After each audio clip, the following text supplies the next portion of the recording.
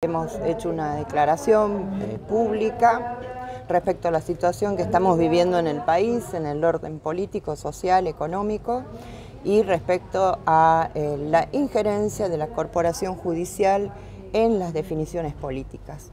En ese sentido, nosotros desde el partido mm, planteamos la voluntad nuevamente de la construcción de la unidad de los sectores del campo nacional y popular, una unidad que refleje un programa común para sacar a Argentina de la situación en la que estamos, en la que nos han dejado precisamente este endeudamiento durante el último gobierno del macrismo, que es el que nos pone las condiciones nuevamente con el Fondo Monetario Internacional monitoreando permanentemente e indicando cuáles son las políticas que tenemos que llevar adelante. Para nosotros la condición, o prácticamente es una condición para integrar un Frente Nacional, cuál va a ser la postura ante el endeudamiento.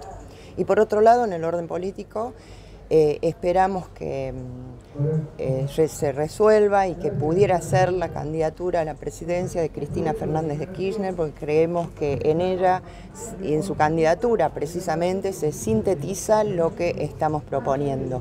De no ser así, esto se va a saber en muy poco tiempo, hay 18 fuerzas políticas que hasta el momento venimos integrando el Frente de Todos, que lo están discutiendo en, mesas de trabajo que se vienen llevando adelante y por supuesto con el Partido Justicialista que viene siendo la columna vertebral de ese frente.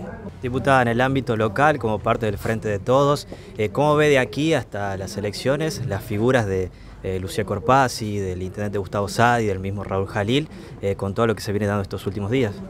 Sí, bueno, del mismo modo que en el orden nacional, los preparativos para la participación en las PASO, como en las elecciones generales, lo estamos haciendo todas las fuerzas políticas. Estamos con la expectativa de poder integrar efectivamente una alianza electoral cuya herramienta sea un frente político programático en la provincia. No vemos de momento ningún motivo para que eso no se constituya.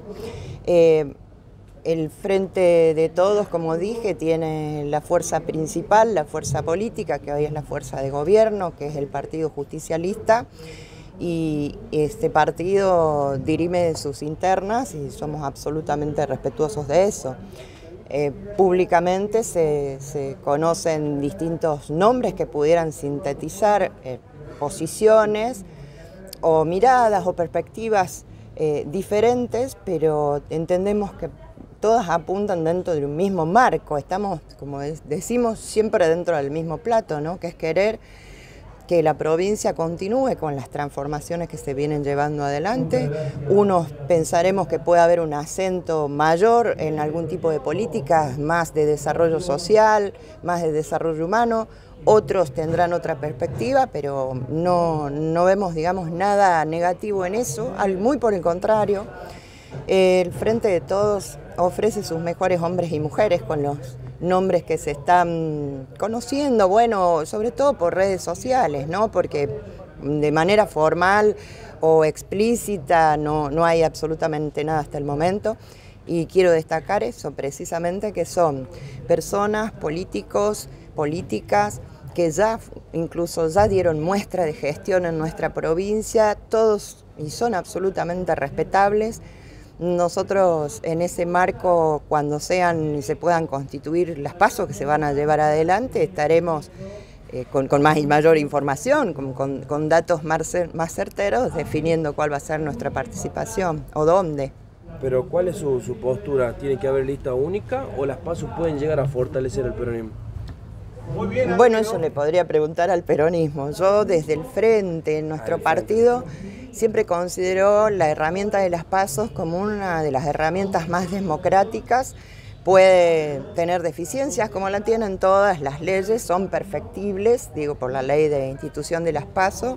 Sin embargo, hasta ahora no creo que haya algo mejor de cara a la sociedad, porque las pasos son, recordemos, eh, elecciones primarias abiertas, quiere decir que participa toda la sociedad eligiendo sobre precandidatos.